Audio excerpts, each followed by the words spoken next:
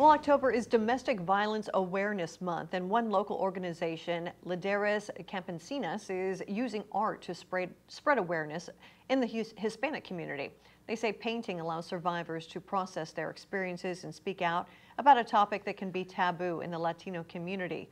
This also helps organizers reach out to those suffering in silence to let them know that they're not alone. Leaders are also letting people know that abuse is more than just physical, it can also be financial and emotional. A lot of the people that are suffering from domestic violence do not realize that they have a voice, that they can make a difference when they speak out and they say, no more. I will not put up with this anymore.